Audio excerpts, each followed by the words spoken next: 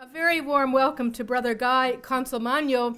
Um, born in Detroit but educated at MIT and then at the University of Arizona. He did postgraduate work at Harvard uh, College Observatory and he lectured at MIT.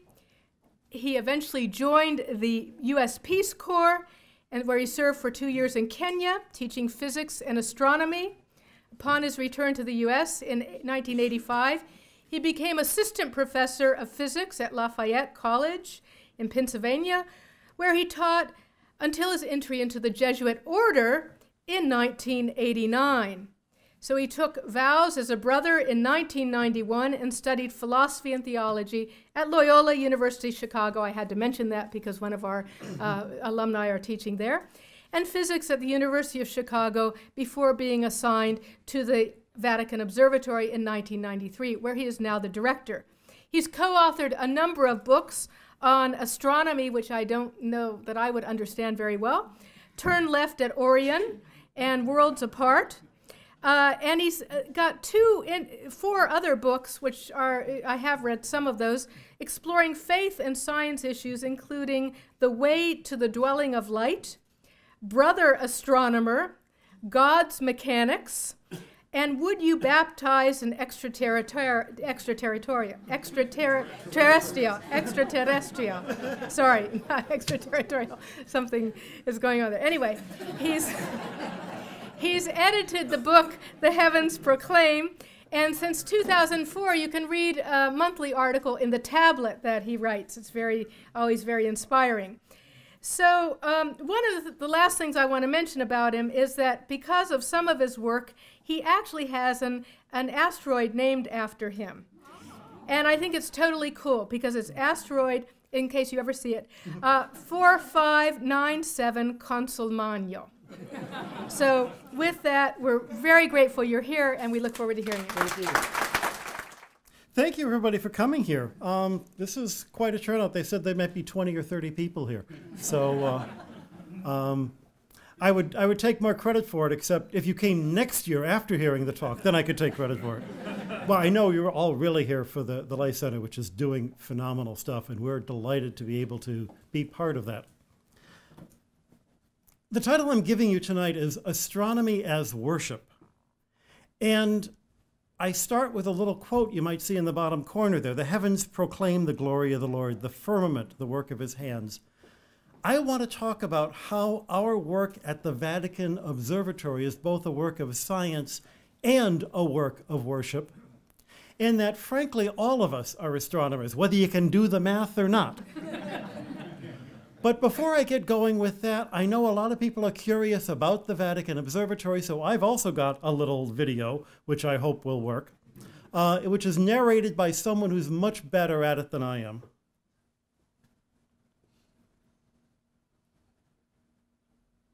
Oh, come on. Both science and religion are conversations about the universe. They're ways of learning how we interact with this universe. It's not simply a question of is there a God, but there is a God. Now what do we do? It's not just a question of there are a bunch of stars, but rather, why are there stars? How do they work? How does that tell us how things work here on Earth? The interaction that I see in my own life is that religion gives me the reason to do the science. Back in the papacy before Francis was Benedict, and one of his lines in a final allocution to the fathers of the General Congregation was, go to the frontiers. Well, there isn't much more frontier than 3.7 billion years away. The first uh, official interest of the Church for astronomy started in 1582 with the reform of the calendar. Then in 1891, Pope Leo XIII wanted to have an observatory to show that the Church is not against science, but uh, the Church promotes good science. They start out by having telescopes on the Tower of the Winds, and then on the walls surrounding the Vatican, as the city lights grow, and as the Italian government gives them back the territory in Castel Gandolfo, in the 30s they build new telescopes on the roof of the Papal Palace in Castel Gandolfo, best telescopes of their era in the 1930s. By the 1980s, light pollution makes those telescopes unusable, so we built a new telescope in the dark skies of Arizona.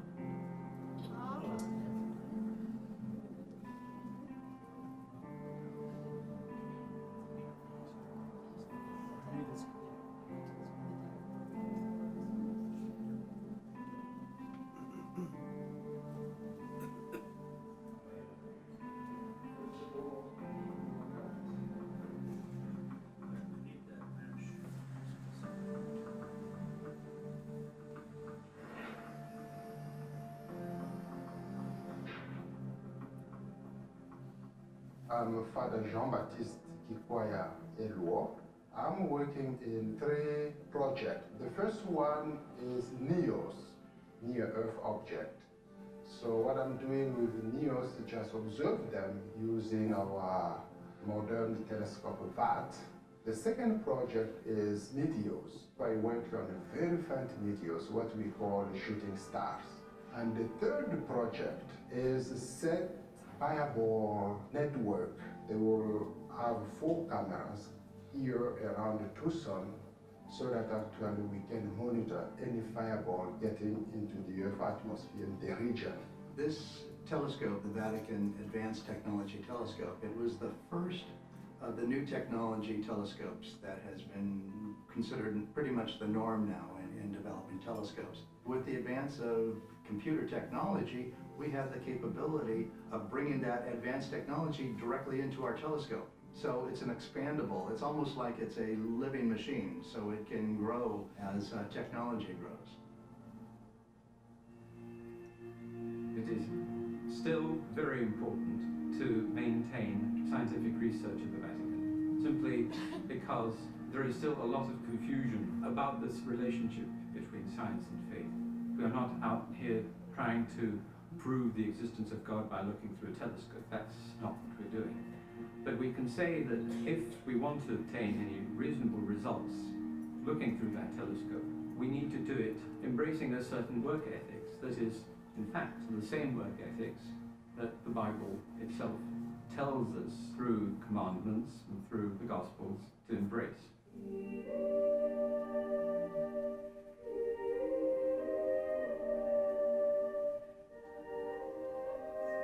Human beings look at the stars and wonder. They want to know what is that? What is that about? How do I fit in? They hear about the moon landing and they want to know what was that like? If we're part of the human race, we're part of the race that went to the moon. We're part of the species that looked at the stars and wondered, what the heck are those things?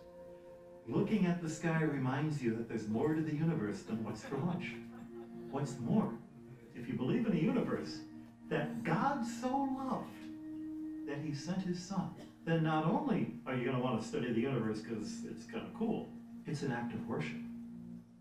It's an act of getting closer to the Creator and getting closer to a universe, as St. Athanasius said 1500 years ago, was cleansed and quickened by the incarnation.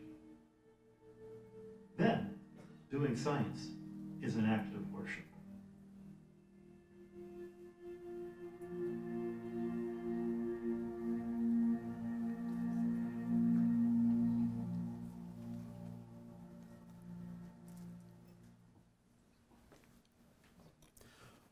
One of the amazing things about astronomy is that it is something that draws all of us out of our day to day life. It is something that reminds us of a beautiful universe that's always available to us, if just a little bit out of our reach. But the stars overhead shine on the good and the evil alike. The same stars are shining regardless of who's president. The same stars are shining regardless of what religion you are. It is a place where people of every faith, every belief, every background can come together. You don't need a PhD to appreciate stars. And stars have been amazing to people since the beginning of time. It's fascinating to see the many places where stars are mentioned in Scripture, and I'll just bring up a couple of them. One of my favorites is uh, from a minor prophet, Baruch. O Israel, how great is the house of God, how vast the territory that he possesses. Great has no bounds, high and immeasurable. Who has gone up to heaven and taken her and brought her down from the clouds? But the stars shone in their watches and were glad. He called them, and they said, Here we are. They shone with gladness for him who made them. This is our God. No other can be compared to him. I love the idea of the stars singing for joy. People ask me about extraterrestrials and aren't, you know, aren't human beings the only ones? No. Even the stars are in a relationship with God.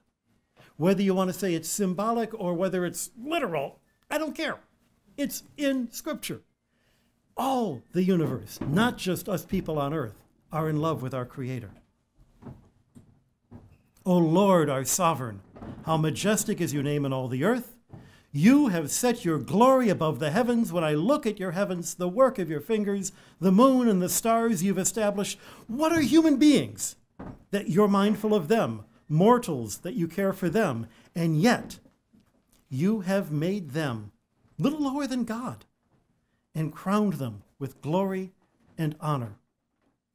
When you consider how big the universe is, there are two ways you can react. You can say, The universe is so big, I'm so small. How could God possibly pay attention to me and despair? Or you could say, The universe is so big, I'm so small. The fact that nonetheless God does care for me tells me how infinite God is. That God can direct all of his attention to me and to you and to you. I'm not too sure about you, but you. I'm reminded um, there's a journalist in, in Britain, a woman named Emma Townshend, writes for a gardening column for the, the Independent. But she writes when she was a little girl growing up, and uh, you know, every little girl thinks her daddy is a rock star. Every little girl thinks daddy is wonderful. It was only when she got to be about 11 or 12 that she finally realized her daddy, Pete Townshend, really was a rock star. That's the position we're in. We grow up calling God our Father, Daddy, Abba. And only as we learn astronomy do we realize this God who has this personal relationship with me is also the God who made all of that. That's how science, that's how astronomy is an act of worship. Knowing that, we can start asking questions about us and astronomy, learning more, asking more, because one of the amazing things about the universe is that it can be understood, that it's actually possible to come to some original ideas about how the universe was put together. Um, the little quote in the bottom says that physics can never tell us how we get from absolutely nothing to something. Uh, the fellow with the, with the hat, you may be able to see there, and it is, is a fellow named Arthur Eddington, British scientist. He's the guy who made the measurement in 1919 that proved that Einstein's theory of general relativity was correct. Actually, incidentally, he was a very devout Quaker. The fellow he's talking to, if you look carefully, has got a very familiar collar his name is Georges Lemaitre. He had two doctorates, one from Louvain in mathematics, one from MIT. And he could read mathematics the way that some of us might be able to read poetry. Reading Einstein's general relativity, he recognized that this says the universe can be expanding. The expansion of the universe would explain many things that people had observed and not understood. But if the universe is expanding, then there must be a time when it was all in one. Everything that we see now, all of the space between everything, was much smaller. It's not that the universe is expanding into empty space, but it is that space itself is expanding. He called this theory the primordial atom theory. Uh, Fred Hoyle, who was an atheist who hated this idea because it sounded like the universe had a beginning and that just sounded too biblical for him, um, made fun of this theory by calling it the Big Bang Theory. Father Lemaitre, Catholic priest, Father Lemaitre was not a Jesuit. He hated being confused as being a Jesuit. He said, You know, it is possible to be smart and not be a Jesuit. Rare as that might be. Lemaitre and Hoyle met at a big meeting on astronomy sponsored by the Vatican Observatory in 1957 and became best of friends. And they drove back north to, to visit, uh, go on vacation in Switzerland, and you know, dropping Lemaitre back off in uh, Belgium before Hoyle went on to Cambridge. This is what astronomy does. It brings people who might have very different scientific theories, but the same passion for how the universe worked, and brings them together. There's Lemaitre with, uh, you may recognize the guy with the wild hair. the fellow on the other side is Millikan, the fellow with the oil drop experiment who proved that electrons actually have charge. And this picture was taken at Caltech at the Athenaeum there. The church has been interested in astronomy for a long time, but there was a Vatican observatory since the 1890s. It was actually founded 125 years ago. In 1935, Pope Pius XI moved the observatory out to the summer quarters. But even before then, in 1922, Rome was the host of the International Astronomical Union, and Pius XI hosted astronomers from the International Astronomical Union and in one of his addresses has this marvelous phrase From no part of creation does there come a more eloquent or stronger invitation to prayer and to adoration. He sees astronomy as an invitation to prayer. Pius XII, looking through our telescope, which he helped pay for in the gardens, a, Schmidt telescope, and he wrote, Man ascends to God by climbing the ladder of the universe, which is actually an echo of what St. Paul says in, in Romans chapter 1. Since the beginning of time, we have come to know the Creator through the things he has created. John Paul II wrote a number of things about the role of science in religion. Science can purify religion from error and superstition. Religion can purify science from idolatry and false absolutes. Because the truth of the matter is that the church and the scientific community inevitably interact. Their options do not include isolation. Of the, uh, the four people you see there, that's me before my beard was gray. Next to me was the late Bill Stoeger, who was our cosmologist. Brilliant man. Not only did he work in the mathematics of cosmology, he was a classmate of Stephen Hawking at uh, Cambridge did his doctorate under Sir Martin Rees. And uh, not only could he do the mathematics of cosmology, he also directed retreats for nuns. I'm not sure which is more difficult. Father Sabino Maffeo, um, you see there, and then David Brown, who is then a very young scholastic, now a member of our observatory staff. In 2009, we moved out of the papal palace into our own quarters in the papal gardens, and uh, Pope Benedict came to dedicate the place. He reminds us the laws of nature are a great incentive to contemplate the works of the Lord with gratitude. I think it was Einstein who said something to the effect of it's astonishing not only that the universe is understandable, but, but it's understandable and we can understand it. That's not something to be taken for granted. Not every culture believes that. If you were an ancient Roman and you saw a lightning strike, you said, Ah, oh, the god of lightning threw the lightning bolt, and you would never ask any further questions about why lightning travels that way. And you never know the joy of Maxwell's equations. But if you are almost an atheist, and everybody in this room who is a Catholic is almost an atheist, because we only believe in one God. It's only one God more than you know Stephen Hawking believes in. and very, very different from the ancient Romans. If you get rid of all of those nature gods, and you say our God is not part of nature, but our God is supernatural, that our creation occurs in the beginning, God's already there.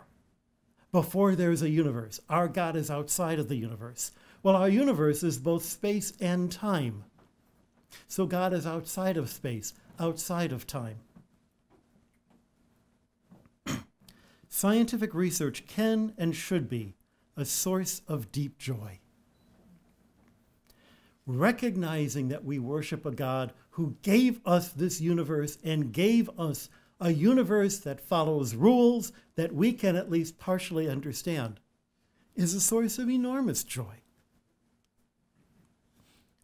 It's what kept us doing astronomy from the beginning. Astronomers, of course, were interested in, uh, religious people were interested in astronomy for calendars. So the, uh, the, the, the, the Hebrew priests would keep track of sunrise, sunset, and the phases of the moon to set their calendar. Gregory the 13th, of course, hired a bunch of astronomers to fix the calendar in 1582. That's Rome there. There's a uh, little tower called the Tower of the Winds, which, if you ever get to the library or the, the, muse- the museums, you can see it from the outside. If you get into the Tower of the Winds, you're in the library. It's called the Tower of the Winds because there are these paintings of the winds, and in the south wall is a little hole in the wall, and light shines through the wall. And as the sun passes across the sky and the seasons change, in the winter the sun is low, the light spot is one end of the room. In summer the seasons are high, the light spot is the other end of the room. Halfway is where the light should be at the first day of spring. That's what they used to demonstrate to the world why the calendar needed reform. They didn't actually use this to do the calculations, they already knew that. and one of the Jesuits who helped in the reform of the calendar, Christopher Clavius, wrote this book explaining. You remember back in 2012, we all thought the world was going to end because the Mayan calendar ran out? Clavius wrote a calendar predicting, calculating the date of Easter up to the year 5000. So we're good for a while. And this is a page from the book, and there is uh, 2017, and it tells us that Easter is going to be on the 16th of April. How did he know that? Most people here think that Easter is supposed to be what's that weird formula they took? The first Sunday after the first full moon, after the first day. No. Um, it's the Sunday after Passover. Well, no. It's an arbitrary mathematical formula that comes close to approximating that, gets it right about 16 times out of 17. You could have made it more exact, but then the formula wouldn't fit in one page. And it was put together in the late 1500s because for the first time, Christians were traveling around the world and were going to have to calculate for themselves when Easter was going to be. And you couldn't just say the first, you know, full moon after the first Sunday. What if it's the full moon and it's Sunday in one part of the world and Saturday in a different part of the world? You had to come up with an arbitrary way of working it out. That's the way we work to this day. Those ideas of meridians, by the way, were used by Clay, um, uh, not Clavius, but uh, uh, uh, Cassini. It's right in front of me here.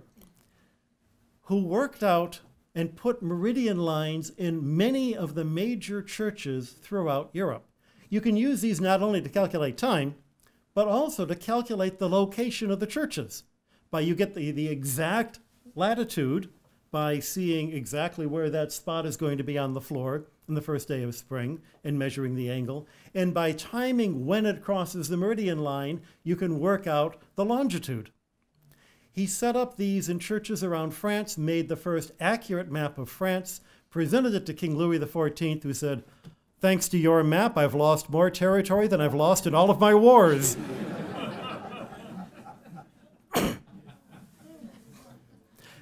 we can't mention astronomy without mentioning Galileo. I'll just point out a few things about Galileo. First of all, uh, he was a great rival of the Jesuits because they were both using telescopes, both attempting to describe the sky and he got into a big argument with Christoph Scheiner about who was the first person to look and discover spots in the sun.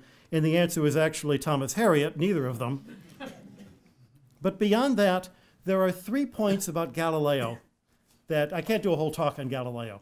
Three points. Number one, he was a devout Catholic. He stayed a devout Catholic even after the trial. He could have fled to the Protestant North. He didn't want to do that. His two daughters were nuns. Mind you, he never married their mother. He was an Italian Catholic, but. long, complicated reasons why he didn't marry their mother. The second is, in spite of everything you've heard, he was not imprisoned, he was not, you know, burned at the stake, he was not condemned for being a heretic. After the trial, when they went through everything, they, you know, they, they, clearly the trial was a setup job. And after the evidence, when they were about to declare that he had been found guilty of heresy, he pointed out that they couldn't find any heresy that he was guilty of. He was found guilty of uh, extreme suspicion of heresy. and when he abjured, when he stood in public and renounced his heresy, He stood in public and said, I renounce anything and everything in my works and writings which is heretical, but never actually detailed what those things might be. And they never asked him to. You know, he could have been a Jesuit. Essentially, everything you probably know about Galileo is wrong. The truth doesn't make the church look any better because the church should not have put him on trial.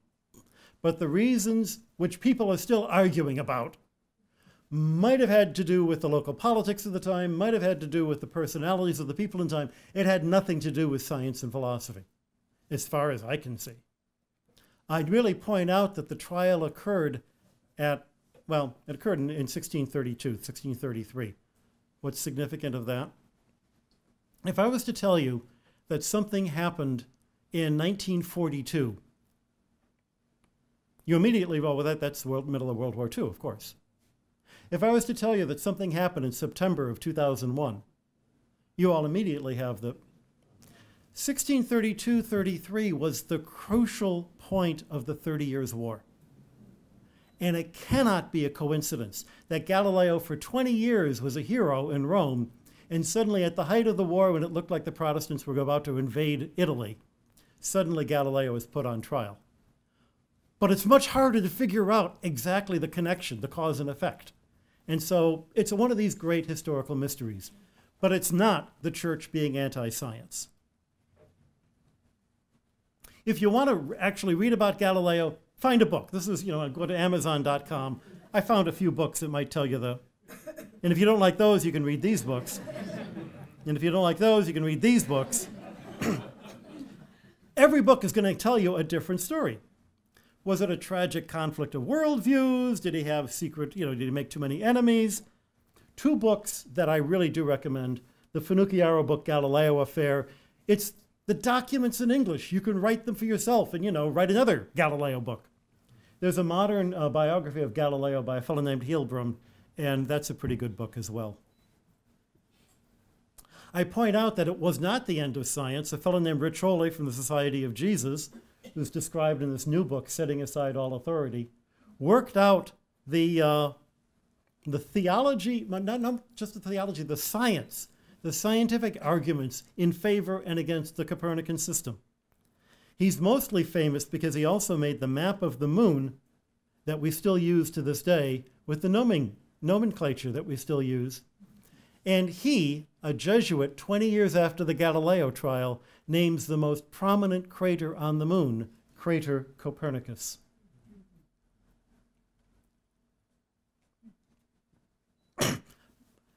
the, the, the whole idea of the earth centered versus sun centered system was not resolved until Isaac Newton came up with a physics that made it work. And it wasn't really until the beginning of the 1700s. By 1760, you've got the Jesuit school in Prague where every star has planets going around it, and you've got these little angels looking through telescopes studying. The idea that there's a war between science and religion does not date from them. It only dates from the end of the 19th century. And that's when Pope Leo XIII founds an observatory so that the world can see that the church supports astronomy. These are the telescopes that he built on the, the walls around the Vatican back in the 1920s.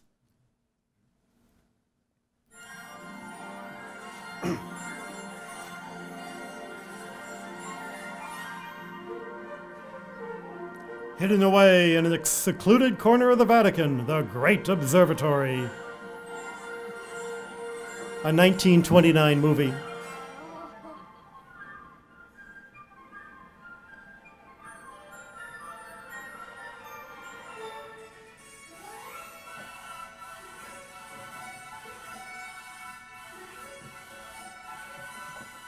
Massive telescopes that swing to a touch as easily as a rod.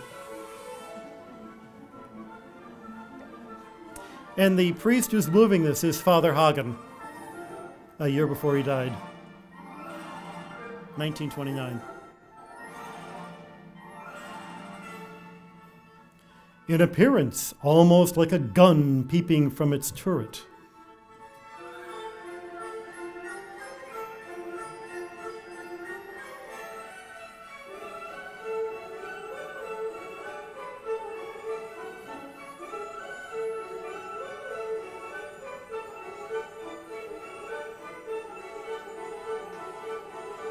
Father Hagen, who was at Georgetown before he came to the observatory. The Large Photographic Telescope.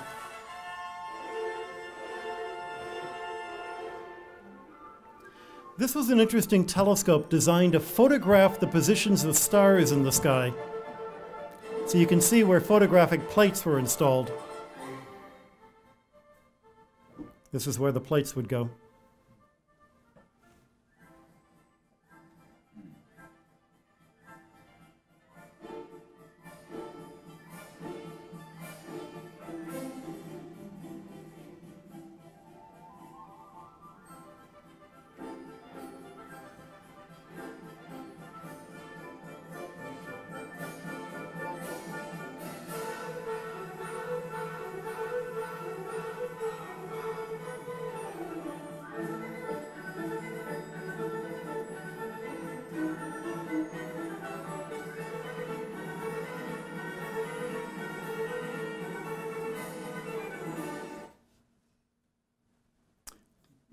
Father Lais using the telescope.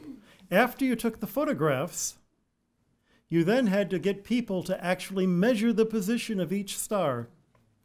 And so they hired four nuns, the Sisters of the Child Mary, Sister Emilia Ponzoni, Sister Regina Colombo, Sister Concetta Finardi, Sister Luigia Panceri.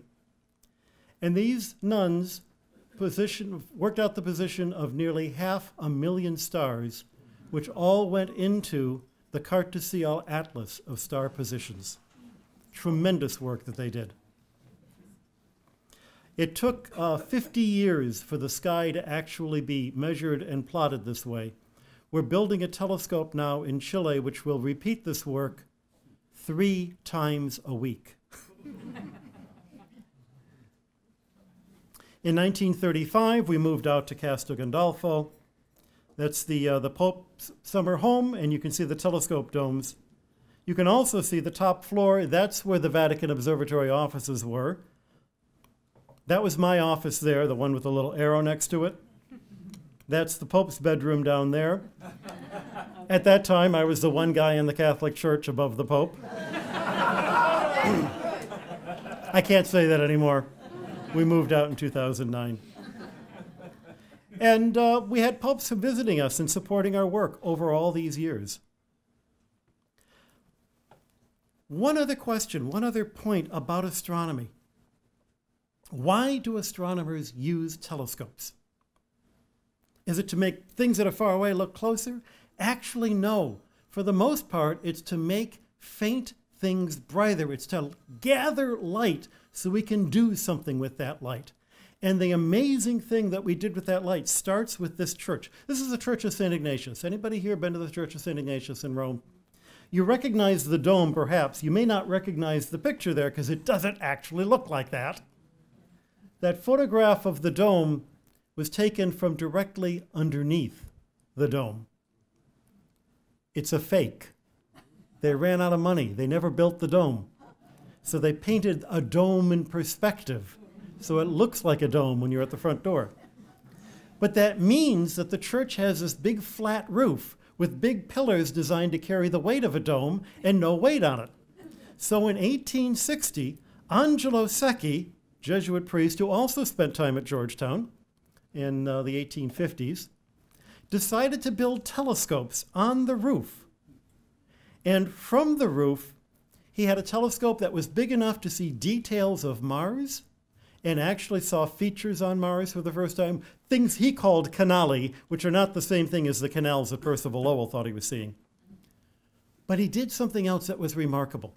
There was a, a French philosopher who had this idea in the 1830s of kinds of knowledge you can have. And there are some things, there are things that we know are true that we will never know. For instance, how will we ever know what a star is made of? We can't go to a star and pick up a piece of it. And within 20 years, Angelo Secchi is putting, um, oh, before he even gets to this is Mars on the one side.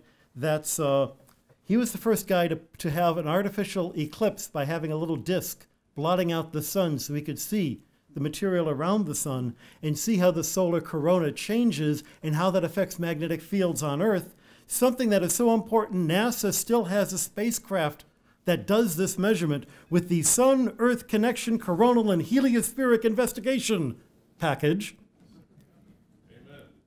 Secchi.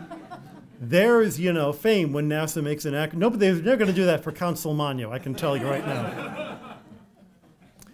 this guy was so important in so many ways, but the thing that's most important, he put a prism in the pathlight in the front of his telescope and for the first time measured not just where are the stars, but he asked a new question What are the stars?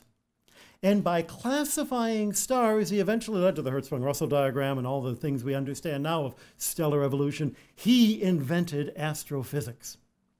And he's one of the great astronomers who doesn't get a whole lot of credit because he didn't publish in English. This is the, uh, the little village of Castel Gandolfo with our telescope there. And uh, we had a, a, a, time when we could see Venus crossing, uh, Venus crossing in front of the sun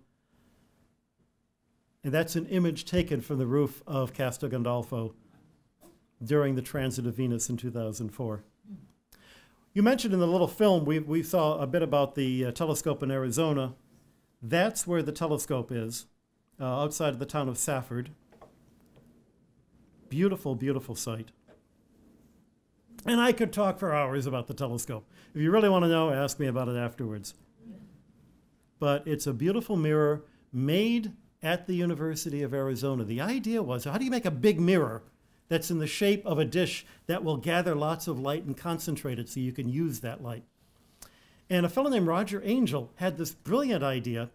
If you have a liquid and it spins, it flows into the shape of a parabola. So you take glass, you melt it in an oven, you spin it, and it makes this.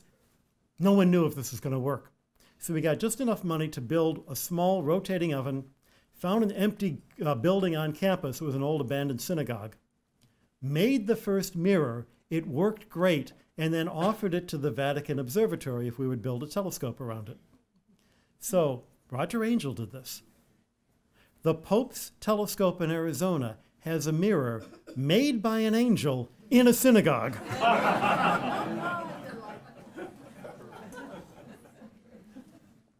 I show this picture partly because it's gorgeous.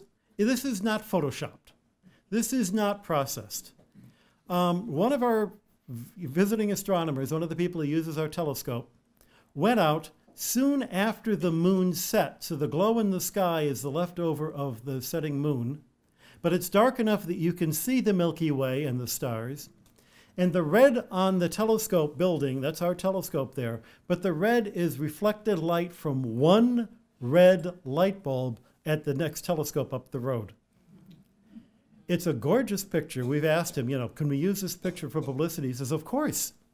He's a great friend of the observatory. He loves being able to help us out. He happens to be a ferocious atheist who, you know, campaigns against religion whenever he can think. But, but of course, the Vatican Observatory, that's different. because astronomy is something that brings us all together. My own work is in meteorites, rocks that fall from the sky, and I had a chance to uh, show this particular meteorite that fell in Argentina to a local Argentinian Jesuit. um, I'm going to skip the story of how we. Uh, and, and I, I, I, should point out. Wait, wait, wait back, back, back. Um, not only is this uh, Argentinian chemist visiting us, but he supports astronomy and this, our scientific work so much, he brought his own white lab coat. uh,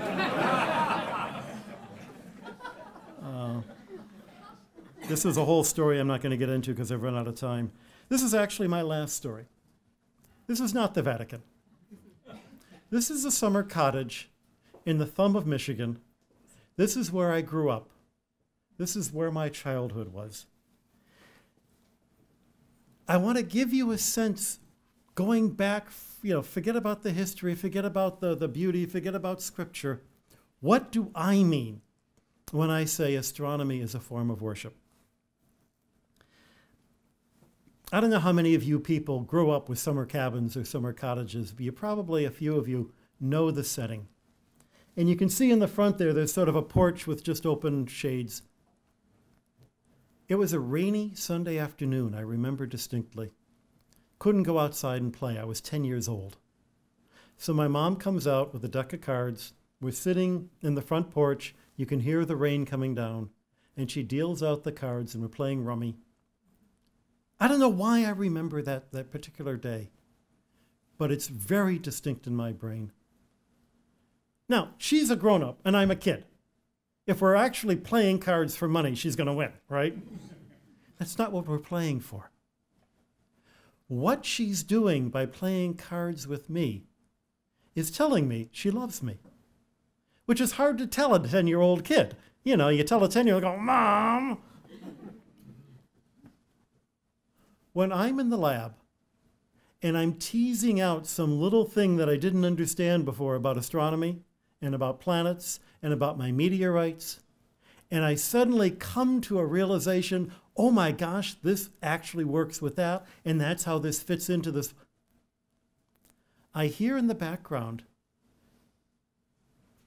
a little bit of cheering. I feel in my soul a little bit of the joy that is the same joy you get in a moment of prayer. Science is where God and I can play together. And it's not a prayer, play of equals.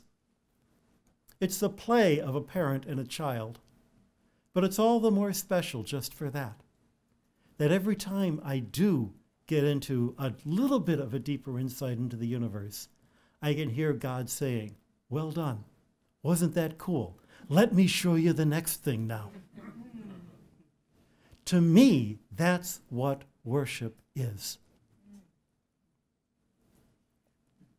And have an astronomical observatory. For instance, you're the curator of meteorites at the Vatican. Why, why do they curate meteorites? Are they looking for the shooting star of David? What, what? no, in fact, the whole idea of having astronomers really got started with the reform of the calendar back in the 1500s. And since then, just studying the universe is a great way to remind yourself that there's more important things in life than what's for lunch. What is for lunch? I end with a quote from one of my favorite writers, Chesterton. The essence of all pantheism, he wrote, is that nature is our mother. But the main point of Christianity is this nature is not our mother, nature is our sister. Nature was a solemn mother to the worshippers of Isis or Cybele, to Wordsworth or Emerson, but to St. Francis, nature is a sister and even a younger sister, a little dancing sister to be laughed at as well as loved. This is the joy of worship. This is the joy of saying, What a marvelous universe we are all in together. To love, to honor, to understand. There, there was a, a, mathematician at MIT years ago, Norbert Wiener, who said something to the effect of, You never really understand mathematics, you just get used to it. it's true of physics, true of astronomy, true of theology, it's true of God, it's true of everything you love. My, my parents have been married 76 years, some, some crazy number like that, 71 years. They're still getting used to each other. You never prove that your spouse loves you. You wake up every morning amazed that, you know, that spouse is still there. You never prove that God loves you. You wake up every morning astonished that God is still there. And by spending time with God and spending time with God's creation, we get a little more used to God. We get a little more used to God's ways and we get a little more that sense of the joy and the laughter that comes from worshiping the creator of all of this marvelous universe. Thank you very much.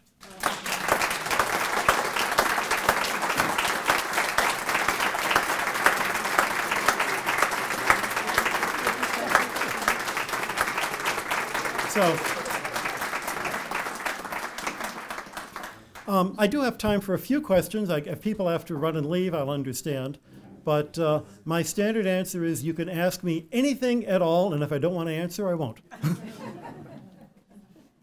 but questions about you know the Pope, about what he has for breakfast, what, whatever. Yes. I've always been amazed at the scientific re- revolution, which I would say came along more like Michelson Morley. Yeah. Came out of the West and not in other cultures. Mhm. Do you think Christianity, the idea that God had to have his, had to have his diapers changed, making nature basically sacred but knowable, had a lot to do why the scientific Western science really took? Yeah, this is an idea that Stanley Jaki really pushed a lot. He was a um, Benedictine, I think, uh, about uh, the, the generation before me. And I think there's a lot of validity to it. So there are people who studied the universe in ancient Greek cultures, in India, in, but mostly in order to cast horoscopes to figure out a way of making money. You know, they were the, the 538 of their era. The only people who studied the universe just because the universe was worth studying in and of itself. The only people who had the um, permission to do that from their culture were the people of the book. The people who saw that the universe was created by God, and therefore to understand the universe is to understand God. If you think the physical universe is evil, then no one's going to allow you to waste your life studying the physical universe. But this is a fundamental difference between, say, the, the Manichaeans or some of the, the, the, the, the you know, the universe is not illusion, and the universe is not evil. There are those who will say chocolate is out there to lure you into obesity or pimples. But there are others who say, no, chocolate is God's way of expressing his love for you. And if you take the second attitude, that the physical universe is God speaking to us, then not only can you justify to yourself, you can justify to your culture. And it's really important to have not just yourself, but your culture behind it. Um, think of the Olympics. There are 1.2 billion people in India awful lot of them live near mountains. How many of them have ever won a gold medal in the Winter Olympics? None, because it's not part of the Indian culture. Indian girls don't have Indian moms who want them to be, you know, figure skating queens. If you don't have a culture that applauds a son who wants to go into the sciences, if you don't have a culture that applauds a daughter who wants to go into the sciences, it's not going to happen.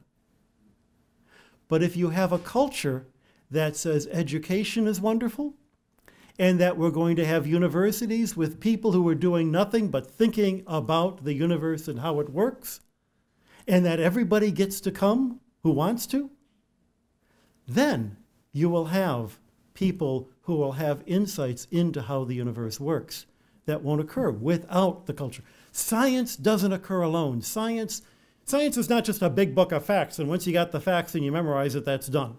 Uh uh It's a conversation.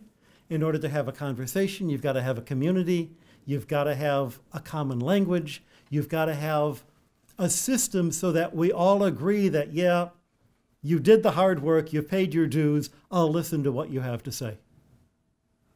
And all of that only comes in Islam, Judaism, Christianity, the people whose fundamental faith is in a God who creates a universe that's good.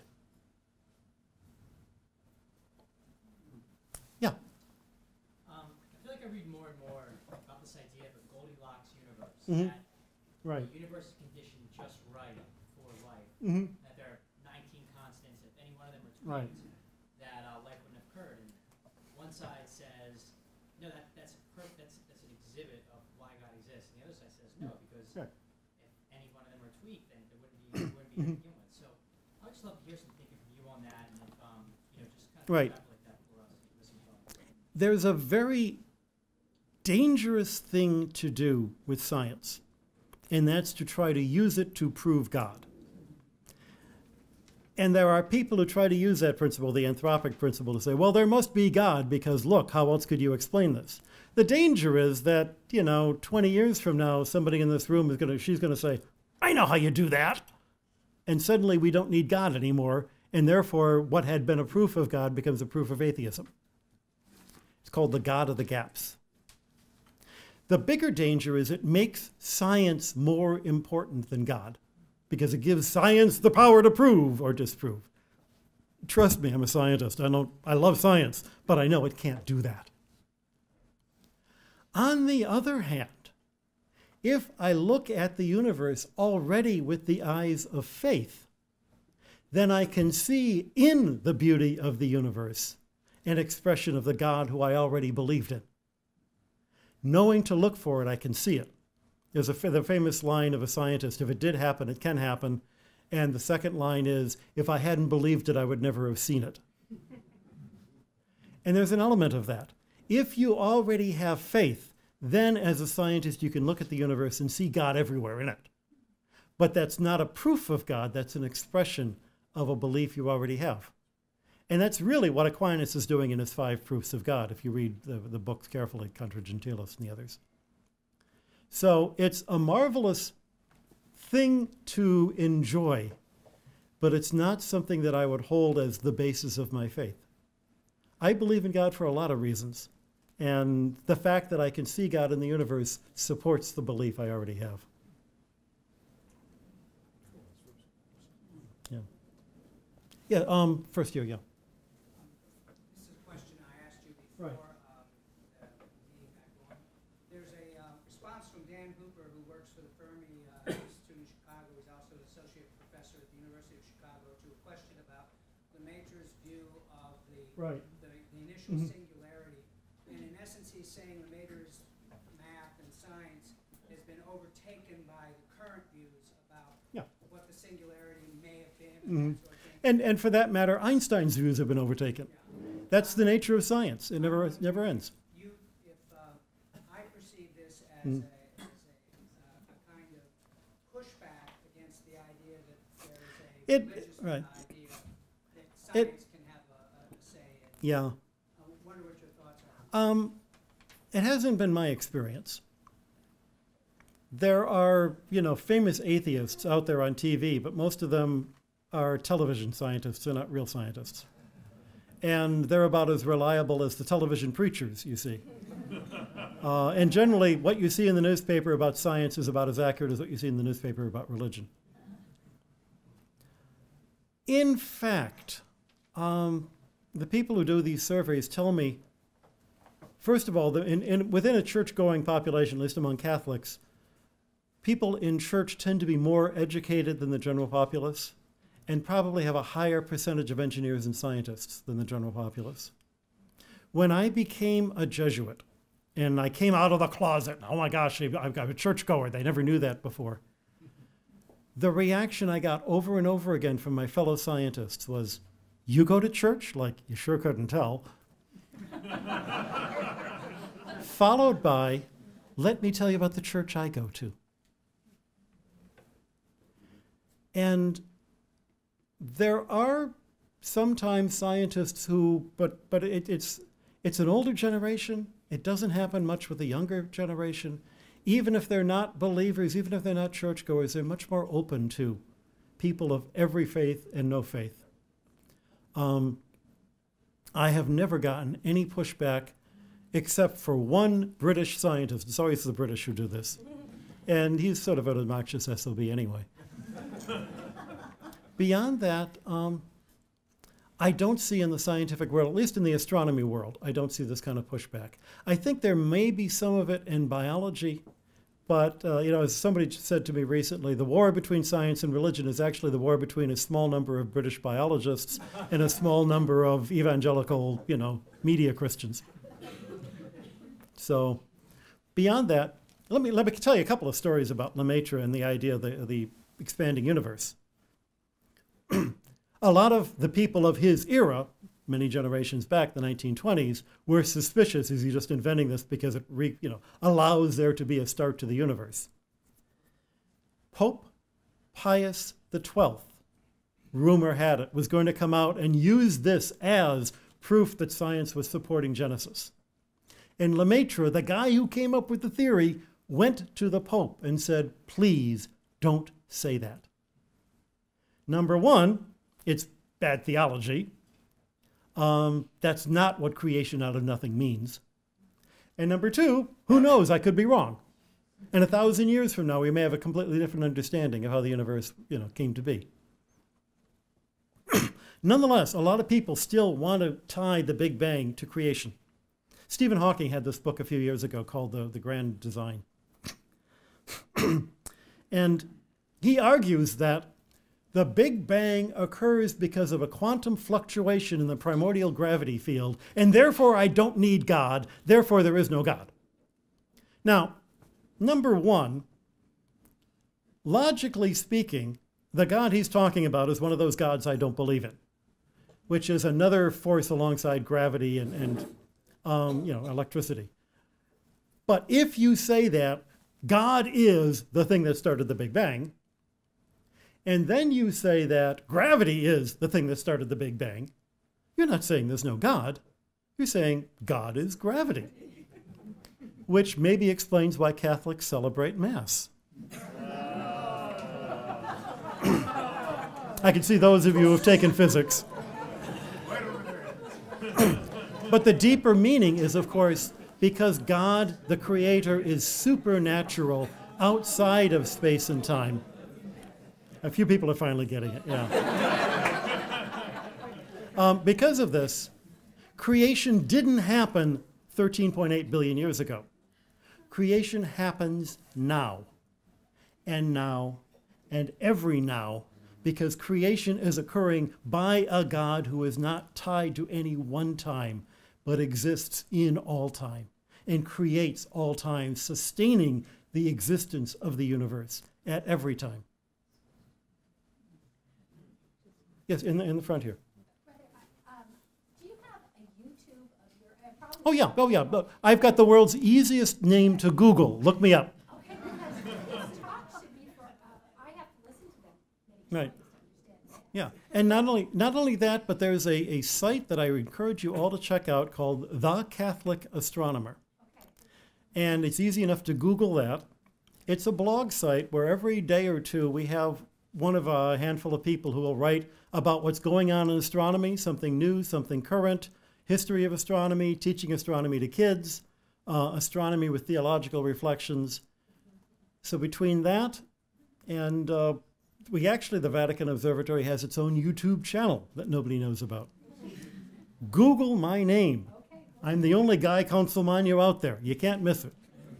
Uh, if you find the sites that say that I believe that aliens actually are what, you know, Jesus is a, a hybrid between an alien, don't believe those sites. I had nothing to do with those. But uh, yeah. And, and maybe one last question because I'm running out of. Okay, there's somebody really, yes, back eager. I brought some young people, and I wanted to kind of ask you about them. You know, um, what, what do you think is, is something they can take away that they can take um, astronomy into the next generation with them? The really amazing thing about astronomy is it's not what's in the books. It's what you get walking outside and looking up. And at the end of the day, I want everybody to walk, when you walk out of here tonight, to look up and see the sky. And pay attention. Where is the moon? It's already set. Take a look for the moon tomorrow. Where was it tomorrow compared to today? What are those lights in the sky? Why can't I see them better? The, the, if you were to go to your friend's home and you walk into the living room and there are a bunch of bare bulbs glaring you in the eye so you can barely see them. You go, what's wrong with these people?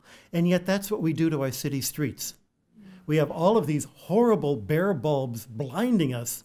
You can't see who's walking across the street because these street lights are in your eyes. Get rid of them, or at least cover them up. Pope Benedict had a marvelous thing in a, in a, 19, a 2012 homily. He says, Today in our cities, we are creating so many lights that we blind ourselves to the stars. Isn't that a perfect analogy of what our modern enlightenment does, blinding us to God? Don't get me started on light pollution, really, but, you know, but Don't let go of the beauty of the sky. And don't think, well, I don't have the, I don't have the math, therefore I can't look at. Anybody can enjoy the sky. If you've got a doctorate, it's more fun. But, you know, it's. but anybody can enjoy football. You, can't, you don't all have to be Tom Brady. Okay, one last question since you're really eager there. Uh, what can you tell us about the new ninth planet since it devoted, devoted Pluto to a like, Um, first of all, Pluto was not demoted. That is sheer planetism. To insist that being no longer a planet is somehow inferior. Back when Pluto back back when Pluto thought it was a planet, all the other planets made fun of it. It was the wrong size. And do you realize it's one tenth the size of the moon? And it just was the world's ugliest planet. And then they discovered that it was a classic example of a whole family of bodies just like it, unique and wonderful and special, and giving us insights into the whole origin of the solar system. It's a beautiful swan of a dwarf planet. And don't let anybody try to force it into something it isn't. You know, Pluto is now happy with its friends rather than being laughed at all the time. Just want to let you know that. Um, there are a number of these interesting big dwarf planets, bigger than an asteroid, smaller than a planet. We have found them more or less by accident. We have no idea how they got into the orbits they're in. One theory is there could be a large planet, maybe the size of Mars, maybe about 50 times away from the sun as our, our, our sun. And it's in, not inconsistent with what we know about these guys. So let's look for it and see if we find it. And that's what they're doing right now. Proof's in the pudding. If it's there, great. If it's not, got to come up with another theory for how those planets got in that orbit. But astronomy's never done. What, just, just to remind you, um, if you've got a daughter who's taking high school biology, are you going to loan her the biology book that you used when you were in high school? no. Biology books go out of date. Astronomy books go out of date. They're supposed to. If you've got a daughter who's taking a philosophy course and you've got uh, Plato with all your notes, sure, she could use that. Plato doesn't go out of date. All right, which is the Bible? Is it a book that goes out of date every year? Or is it a book that's still valid 2,000 years later? It's not a science book. Science books go out of date. And that's why you should never be satisfied with the science you learned when you were a little kid. Because talk to a little kid today and you try to insist that Pluto's a planet and they'll laugh at you. They'll get very mad because their book tells you that it isn't. And they know. Let's remember that our religion and our science can't be stuck at what we memorized when we were 12 years old. That, in fact, those were just the finger exercises to get us up to speed, to be able to ask the right questions. Science isn't about the answers, it's about the questions. Religion is not about the answers, it's about the questions. That's why the dialogue of the Lay Centre is so important, because it inspires the kinds of questions that we can take back to our Catholic faith and realize a richness that we never would have seen there otherwise. Thank you all for supporting all of this work.